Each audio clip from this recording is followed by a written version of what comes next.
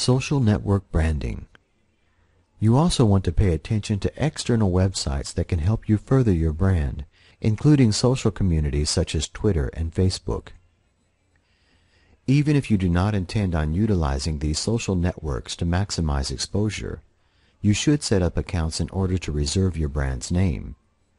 For example, whenever a user creates a Twitter account, their username becomes part of the URL leading to their profile page. If your brand image features a product title called XYZ Marketing, you should consider reserving www.twitter.com slash xyzmarketing as well as other keywords relating to your brand, service, or product line. You should do the same with other popular social communities and networks, including Facebook, FriendFeed, Squidoo, Blogger, WordPress, and Hub Pages. By doing this, you can further expose your brand to your target audience while ensuring that you protect your brand from other people capitalizing on the time and effort you put into developing it.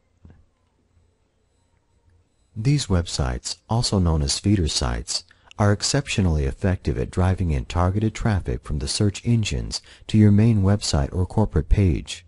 So even setting them up so that they feature an external link can help you begin to funnel in free traffic while building on your online brand.